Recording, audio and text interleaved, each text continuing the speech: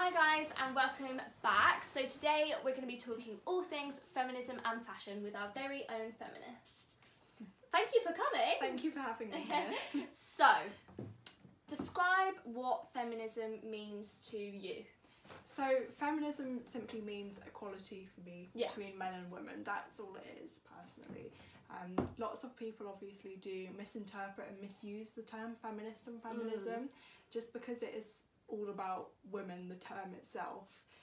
People often think it's women hating on men Yeah. and kind of hating their position in society when in reality it's just women wanting equal opportunities and chances as men have in life and society in general. Yeah, completely. I mean, at the end of the day, the definition is simply equality, and I feel like that is so unknowledged, especially by young people. So that's why today we're sitting here and I've created, you know, this platform inviting young women and old women like I feel like I just want to make awareness normalize the word if that makes yeah, sense of course. because you know I had no idea about you know what a feminist or feminism was and for me being in the fashion industry I then all of a sudden was seeing it on clothing and I was like well hold on what is this? Yeah. and then you know like celebrities supporting it and things like that it just opens it, took up off, yeah. to many people. Like it really has become such a controversial topic. Tell me does being a feminist influence your life or how you live your life in any way It doesn't affect any of the decisions I make in my life whatsoever. Mm. It's more of just a case, a case of being aware of what's going on around you. So it's just ensuring that I'm on an equal pay wage yeah um, as I am to like a man that's in the same position as me in a Mm. job and in the workplace. It's just ensuring that I can do everything that I can as a woman to be equal to a man and have those equal opportunities given to us.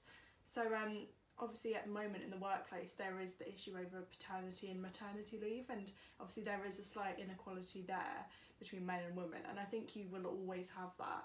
But yeah in definitely. today's society it's just a case of well if i do as a woman have to go on maternity leave just because i'd like to have a child then why should that deny me of any opportunities of getting promotion than it would to a man? It shouldn't make a difference what kind of position you're in uh, in your life or in Yeah. a company or in the workplace so i think it's just making sure you do have those equal opportunities to a man in life Yeah, I mean, I guess it doesn't, you know, influence you as a person, but it just makes you more sort of like aware, and you're gonna yeah. take no shit basically. Um, so tell me when this first started. When did you first become passionate about feminism, or when did you become a Yeah. Um, I think for me it all started when I was at university. Mm. Um, so I've studied film at university, um, and throughout my whole time there, I probably only had around two female teachers that were actually Yeah. working in the film department, which I thought was quite interesting at the time because even though I know and I still know that the film industry is massively male dominated, Yeah. I didn't quite realise that there was such a divide just because um, with the people that were on my course it was fairly split 50-50 between Mm. men and women that were enrolled on it Mm. so I didn't think there would be that much of a divide in the industry but that did kind of really show me that there was still one yeah. um, another thing is is studying film it does open you up to a lot of difficulties that women have in the industry. Oh, um, so at the moment there are a lot more male directors than there are female directors Yeah. just because they don't get the same opportunities. Um, males are more likely to get more funding to produce and direct a film than a woman would. So it's just the difficulties in finding the funds for that really and getting noticed and appreciated in the film industry. Um, and another thing as well is it's the same with writers with women as well and I'm a screenwriter and I know that it is a struggle as a woman to get those equal opportunities Yeah. as you are to a man.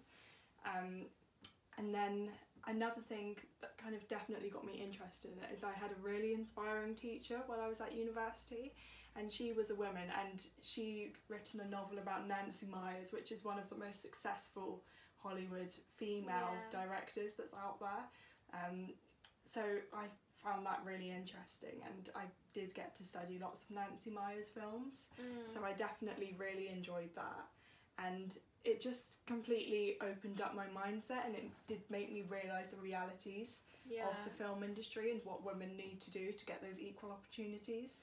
Yeah, and I mean, even in you know other industries apart from film, it is like it opens you up to all these things that you never thought you would come across in your life, basically. So um, another book that my teacher wrote was um, based on Sex in the City, Oh, and she did look at studies for that. And because it's a show and a film about women talking about sex and relationships and and work fashion. and life, fashion, yeah. the male audience and male viewership, they do tend to look down on those particular subjects Mm. because they look down upon women in that way. They think that what women discuss isn't important and it's just chit chat and tea Yeah. talk. If that Mm, makes sense. I agree. Yeah. So it's just kind of opening your eyes up to appreciate more films that do feature women. Mm. So that's TV and film like Sex and the City, um, Mamma Mia, Legally Mm. Blonde, everything like that. That just can inspire young women. Yeah, definitely. Why do you think the topic of feminism is so controversial? I mean, personally, I don't think it's a controversial topic. Right. I think feminism is more heard of in today's society Yeah. just because of Celebrities. there has been an increase in yeah. discussion, and that's with celebrity culture. Yeah. and that's kind of moved on into being talking about talked about in the news and stories Yeah. like that. Um, there's also been quite a lot of changes in the law recently. So Mm. I know that um, upskirting is now an illegal offence and it's a criminal Oh, offence. yeah. And obviously we didn't have that kind of protection in place Yeah. because there was no face in it. There was no proof that it's essentially you. Mm. So it's just kind of taking Yeah. Small steps like small steps. we are forever gonna have issues but it's one of those things where we have to respect what other people believe in like Mm. you all everyone has their own opinions everyone has their own views and being a feminist throughout the years i feel like you learn to respect people that even aren't mm. feminists so you know having feminist friends like you really empower each other as women but then meeting you know people that don't necessarily like believe in it or are feminists, you have to respect them as much as you would respect a feminist. Because Yeah. at the end of the day, everyone does have different opinions. Yeah, of course. I think it's important as a feminist to not enforce your particular views upon Mm. people as well. As long as you're happy with yourself and you're happy with Yeah. what you believe in, That's that's that absolutely fine. Yeah. Everyone else that that has an opinion, you need to accept their opinion and let them get on with their life. But Yeah. feminism should be addressed in today's society, and I think it is becoming more and more iconic from being Mm. featured in film, yeah. fashion, and all of these different industries that have a media outlet that can speak to the younger generation and younger audiences, as well as potentially older audience to re-educate them. Yeah. I mean, the definition is so just like blown out of proportion these days. Like, people assume that a feminist is someone that, you know, hates men. Like, it's not at all what it is. And I mean, especially about like Beyonce. Yeah, of course. So um, with Beyonce, she had her Mm. world tour in the late 2000s. So I think feminism because it has kind of only received its kind of attention Yeah. from all of these celebrities with these outlets. So obviously there's Beyonce putting feminism across her world tour yeah. in the late 2000s, and then you've got um, iconic kind of people in British society like Emma Watson as Mm. well speaking out about feminism and the Times Up movement in America and kind of globally across the world. Yeah. And it does attract, as we said previously, you know, a younger audience. It's so like eye opening, especially to younger people. Like, do young female girls want to sit and watch the news about feminists? Not really.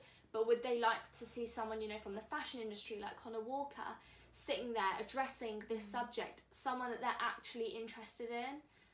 So, yeah, now, Yeah. so to the most important question of all does being a feminist influence what you wear? Um, personally, it doesn't affect how I dress or what I wear. I'll wear what I want to wear. Yeah. I don't want anyone to dictate to me what I can and can't wear. Yeah. Obviously, you have certain restrictions in certain workplaces of what you can wear, such as office Yeah. attire and things like that. But that's a generalised kind of dress Mm. code for everyone. I don't think it should affect you personally. I just think it's more about. Um, I think the issue lies more within people that comment on what other people are wearing, Yeah. and then they take out of proportion. Mm. So as long as I think you're happy in what you're wearing, then I don't think it matters how you should dress, even Yeah. if you are a feminist. You know, and Right. dressing for yourself as well. That's Yeah. very important. Thank you everyone for watching. We will be back soon. Thank you so much for joining us That's today okay, and giving to us all the Thank insights you for having me. on feminism Yeah. and fashion.